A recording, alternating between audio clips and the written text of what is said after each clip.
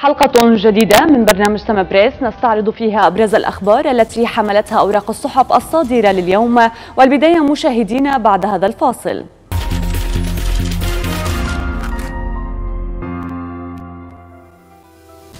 أهلا بكم. البداية مع فقرة بالخط العريض ونستهلها بما حملته الصحافة السورية لليوم. ونبدأ من صحيفة الثورة والتي عنونت. إصابة مدنيين اثنين جراء عدوان إسرائيلي على جنوب طرطوس. وعنونت أيضا هربا من جرائم التنظيمات الإرهابية. حركة نزوح للمدنيين من مناطق خفض التصعيد في إدلب باتجاه حلب. أما صحيفة الوطن السورية أيضا فعنونت. الأمم المتحدة تؤكد أن الحل الوحيد الجديد هو إفراغ مخيم الهول قائد أمني عراقي. أمريكا تخطط لإطلاق سراح الدواعش من سجون قصد. وكتبت أيضا نشاطات لافتة لسفارتي سوريا في لبنان وأرمينيا. وزيرة خارجية دونيتسك العلاقات مع دمشق تتطور بشكل ملحوظ. وبالانتقال إلى الصحافة العربية نقرأ ما جاء في صحيفة الشروق التونسية. قتلى وجرحى سلسلة زلازل تضرب جنوب إيران. وفي بريطانيا نصف مليون إصابة جديدة بكورونا. والآن جولة سريعة في أخبار الصحف الأجنبية والبداية من صحيفة ذا واشنطن بوست والتي عنونت. الصحة العالمية تحث على سرعة اتخاذ إجراءات للحد من تفشي جدري القرود في أوروبا. أما صحيفة ذا نيويورك تايمز فكتبت شبكة خفية تابعة للسي آي إي والناتو تخوض حربا بالوكالة ضد روسيا في أوكرانيا.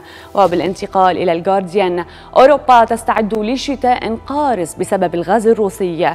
وأخيرا مع صحيفة لوموند الفرنسية وصلنا إلى نقطة لا عودة بين الأطلسي وروسيا.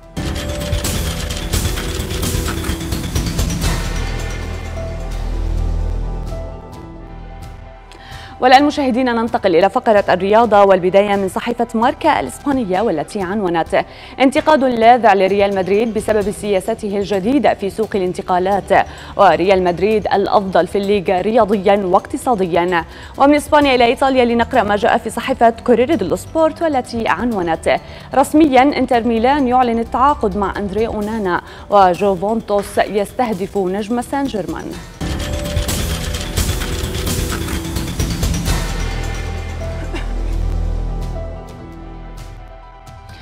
سياسات بحاجة إلى إقصاء عنوان مقال نشرته صحيفة الثورة المحلية وجاء فيه.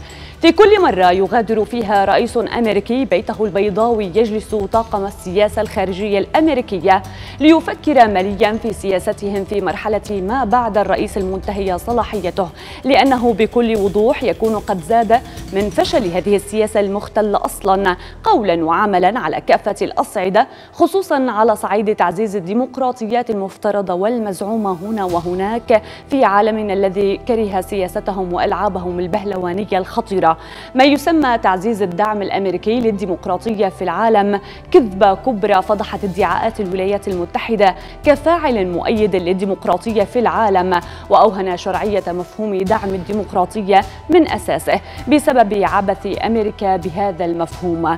كل من يناهضون أفكار وسياسات واشنطن التخريبية يعملون جاهدين لتشكيل عالم أكثر ديمقراطية وعدالة ومتعدد الأقطاب في العالم. تضمن فيه حقوق جميع الشعوب ويتم فيه الحفاظ على التنوع الثقافي والحضاري للبشرية.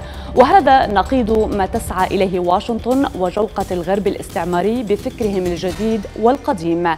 أمريكا ومن يختبئون تحت قناعها ينتهكون حرمة القانون القانون أي انتهاك ويعاقبون دولا بظلم غير مسبوق ويدمرون أي جسور للحوار والسلام. وقيادتهم لدفة المشهد العالمي أمر خطير جدا ويجب إقصاؤهم عن قيادة الساحة العالمية بأسرع وقت.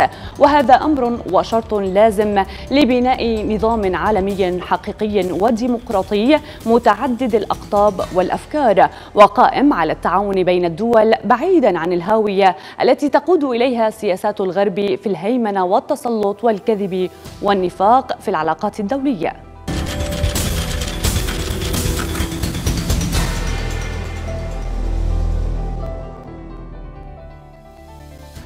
وفي فقرة تويتر لليوم نتناول تغريدة تحت عنوان بشرى للكسالى. علماء يبتكرون دواء يمنح نفس تأثير ممارسة الرياضة. وفي التفاصيل اكتشف الطبيب يونغ شو مركبا له مفعول مضاد للجوع ينتجه الجسم عند ممارسة التمارين الشاقة. من جانبه قال الدكتور إن اكتشاف هذا المركب يمهد الطريق لحبوب مقاومة للدهون في المستقبل. وبحسب التغريدة يمكن لهذا الدواء تطوير حبة تحد من الشهية لدى بعض الأشخاص الذين لا يستطيعون ممارسة الرياضة بسهولة بسبب حالات صحية أخرى أو الشيخوخة أو مشكلات العظام. ويذكر أن معظم الأنظمة الغذائية التي يستخدمها ملايين الأشخاص حول العالم لإنقاص الوزن تعتمد في الأساس على فهم عدد لسعرات الحرارية التي نحتاج إلى استهلاكها في اليوم.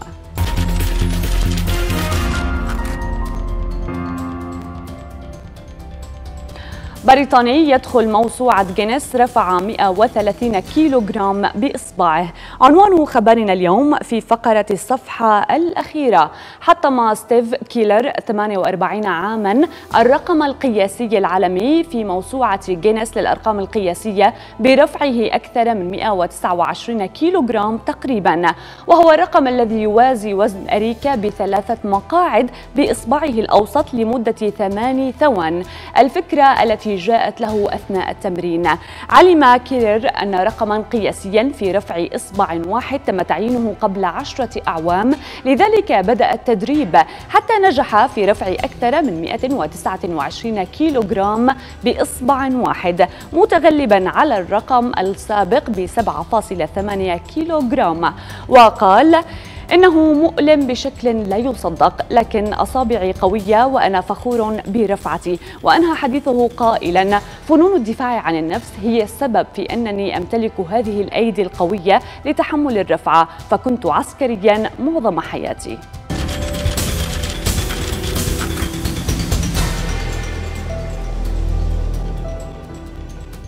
أما الآن مشاهدينا مع ريشة رسامي الكاريكاتور.